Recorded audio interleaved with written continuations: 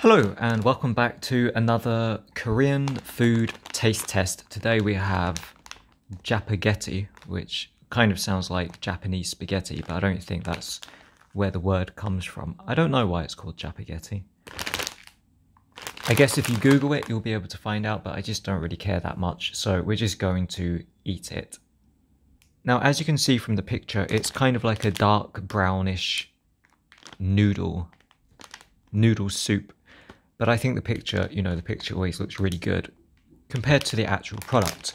We have carrots and peas, but I really don't think there's going to be carrots and peas in here. So we'll make this and see if it looks anything like this picture. Ugh, it's dirty. Didn't wash my frying pan. Okay, so I washed my frying pan. It's okay if there's water in it because we're boiling these noodles. And where are my scissors? In my belly. Do, do, do, do, do. Let's see what's inside. Oh, it's interesting how it's a circle shape. Usually ramen is like a rectangle shape. It fits directly into the frying pan really nicely. What else do we have? We've got some Japaghetti powder, very important. And we've got some dried vegetables, flakes, vegetable flakes. And we've got this olive oil.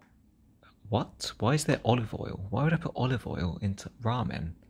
Okay, so this is how I like to prepare ramen. I'll show you my secrets. First of all, you get the powder.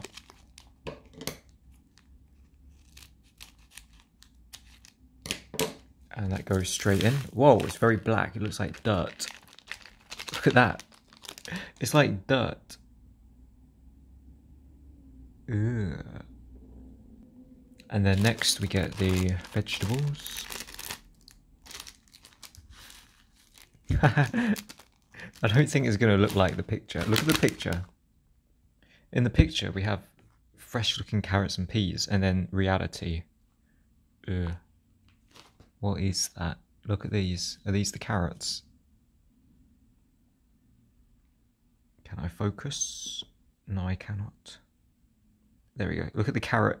It's just like a flake. And I don't even know what these are. They look like rabbit pellets, rabbit food.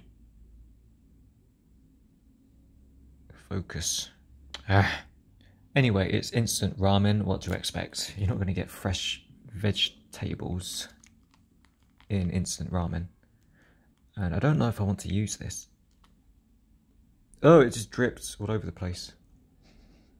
It doesn't smell like olive oil. I don't think it is olive oil. But why does it say olive oil on the label? I don't know. Where's my tissue paper?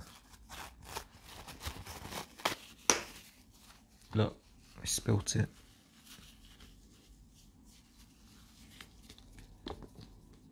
Okay, so next we bring it over to the kitchen station. We need some water. How do I put the water in? Like this.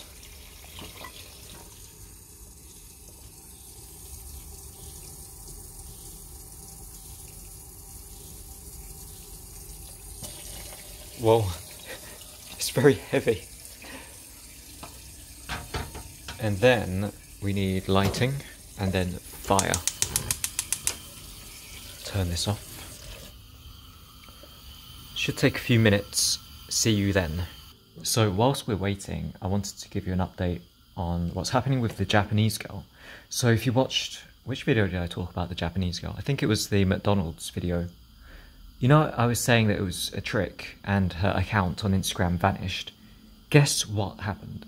A few days later, she made a new account, sent me a new message, and she explained what happened. She said that her boyfriend, yeah, this is a surprise to me, apparently she has a boyfriend. Anyway, her boyfriend found out that we were chatting to each other, and then he demanded that she tell him the password, and then he deleted her account on Instagram, and they had a fight and then she made a new account, but she's still coming anyway. And they don't live together, or it's not a very good relationship. I don't know. She said that they don't really see each other much anyway, so it's not like it's a proper relationship. I don't know if I should believe this story. It sounds kind of fishy, doesn't it? But I'm pretty sure she's real because I asked her to send me voice messages and I asked her to say specific things and she said them. And I asked her to make this sign with her hands and take a photo of it. She did. And she's taken several other photos and it's all the same person, you know, the same mattress, the same body. So I'm convinced she's real. Now, I don't know if she's actually going to come. She said she'll take a picture of herself when she's arrived at the train station. I don't know, I still feel like this is too good to be true. And I let my guard down before, and when I thought she was fake, when she disappeared, I actually felt really sad. Now I'm a bit worried that if I let my defences down again and just believe her, the same thing will happen again, then I'll feel sad again. So I don't know, I feel kind of confused about it. She's supposed to be coming tomorrow. I guess we'll find out then. It just sounds too good to be true. I have a feeling that there's going to be some kind of catch. What is the catch? I don't know yet. These noodles look very black. I think I put too much water. I think I ruined it. Hopefully it's not too diluted and it will still taste good. It smells good.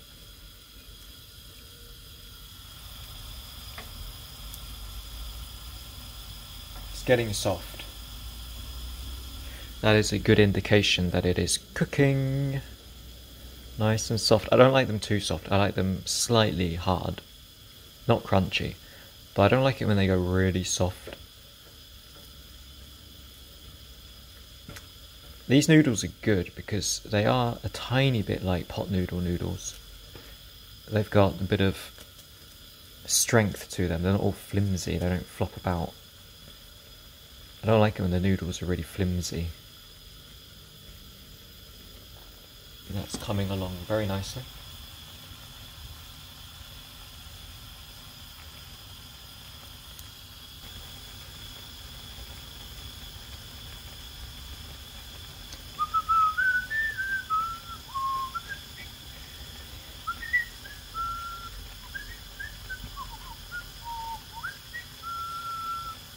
Okay, I think we're ready to serve it.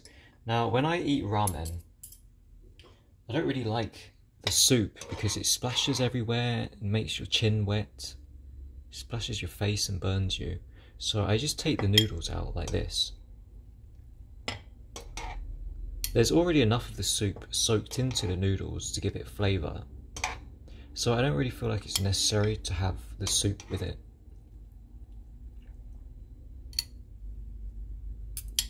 Wow, that's very pretty.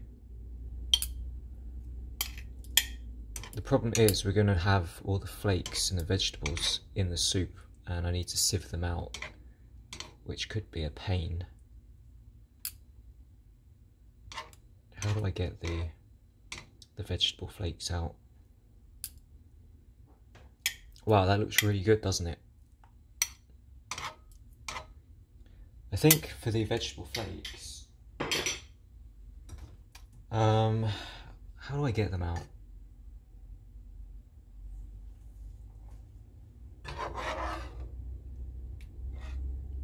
Do I even need them? That I can get some of them out like this.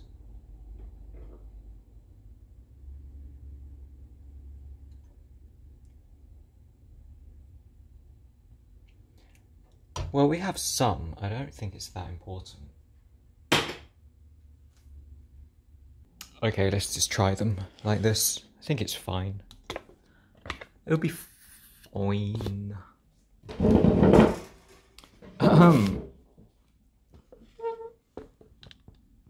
I honestly think these are the best ramen you can get in Korea. I always used to ask my ex-Korean girlfriend to send them to me. Korean people love sending food overseas, don't they? Had this other Korean friend as well, a girl, and she would send me these big boxes of Korean food, full of snacks and stuff. Oh, I remember Sayaka did that as well. She sent me a big box of Japanese snacks. It used to make me feel really good. Like I had a proper girlfriend who cared about me. It's nice when people care about you, isn't it? I might need a spoon. It's a bit like spaghetti. You know, actually, I think a fork might be better. It's called Japaghetti, kind of like spaghetti, so...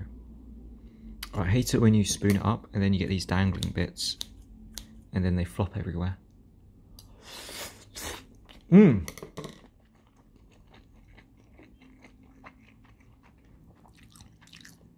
Not bad. I feel like it's a bit bland. Maybe I need the soup. Maybe if I pour some of the soup on.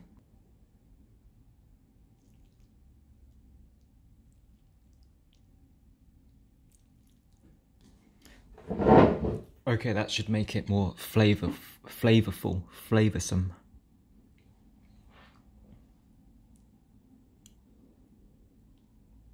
That's the annoying thing about noodles. They're so tricky to eat.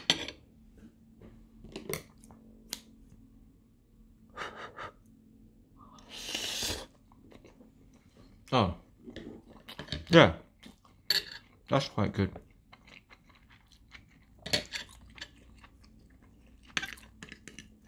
Bit better. I think I put too much water.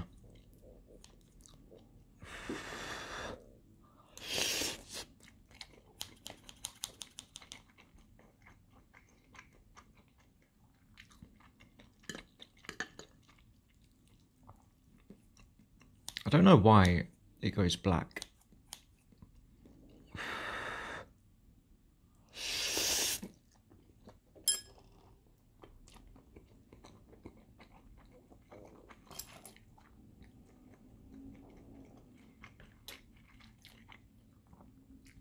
Okay, I guess. It's not as great as I remember. I remember it being better.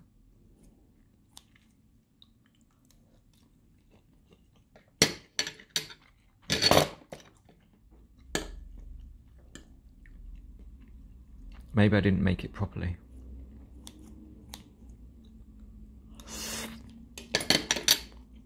Oh well.